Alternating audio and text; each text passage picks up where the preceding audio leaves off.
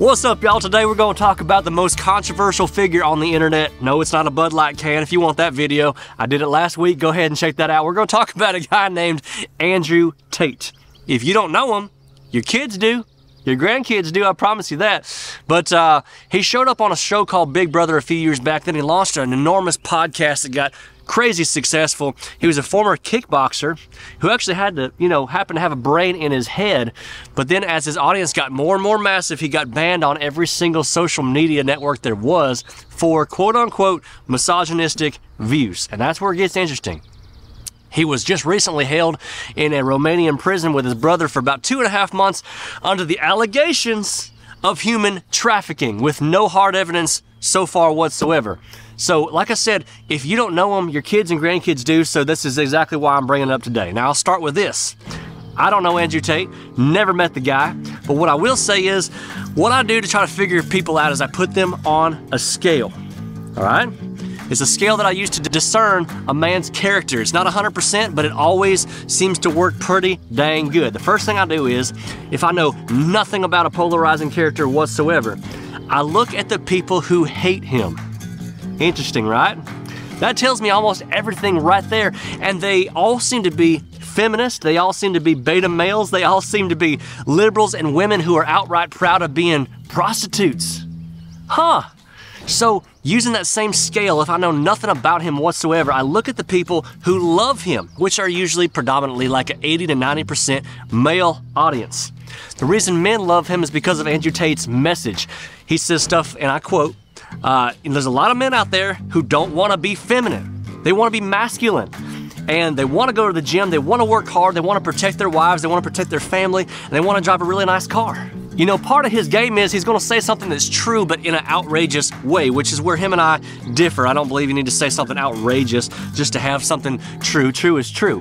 But when you listen to the guy talk, it's really hard to know what is satirical sometimes and what ain't. I will say this, though, as far as him being banned for misogyny. I do believe that everybody who's been banned from social media under that heading right there needs to be reinstated immediately. Since there's no social media site in the world that can even tell me what a woman is, you are not allowed to have a problem with anything that gets said about something you can't even identify. so put them back on. But coming back to my scale, which is very, very important. If the issue is global warming, if the issue is uh, tax increases or gun control, all you gotta do is put them on that scale I told y'all about because all of if all of these people are for it, then I know immediately I'm against it because these are proven evil as hell people right here. I also think that it's really, really sick that a lot of these hardcore liberals were so excited when Andrew Tate and his brother got arrested under the allegation of human trafficking. That's sick as hell. You're actually getting excited about that? Don't you understand that means that somebody was getting trafficked?